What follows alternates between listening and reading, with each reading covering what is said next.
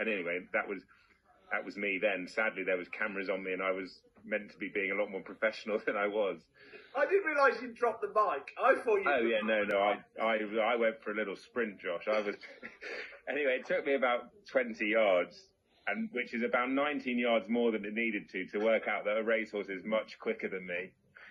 So I ended up giving up, and I thought the horse will come back in a moment. And everyone was, you know, floods of tears. Taffy, who looked after the horse, and James Doyle, who rode him that day, and I could see my cousin who was about to lead him back in. Anyway, I did the interview, and I honestly thought nothing of it. I was very professional in the, in the interview. I thought, right, compose yourself, did a good job, and that was that.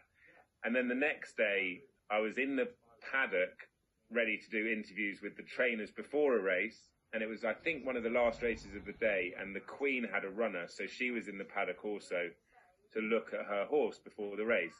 And we were about to go to a break on ITV, and I could hear the director saying, "I'll get a shot of the Queen. She's in the paddock. Ed, you'll talk over a shot of the Queen on the way to a break." And I'm listening in, and they're going, "Right, Ollie, what interviews have you lined up for after the break?" Blah blah blah. And then I get a tap on my shoulder, and it's John Warren, who's the Queen's racing manager, and he said, "Someone would like to meet you." And I know then that it's either going to be a fan who wants a picture over the rail or it's going to be the Queen. and it was in this instance the Queen. Wow. So he walked me over to meet Her Majesty.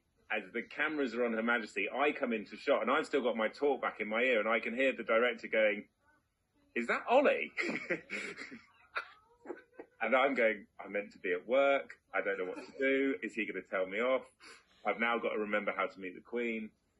And she goes, Oh, you're the lunatic that ran on the track, aren't you? I went, Yes, Your Majesty. But, but what happened was, my dad, only question?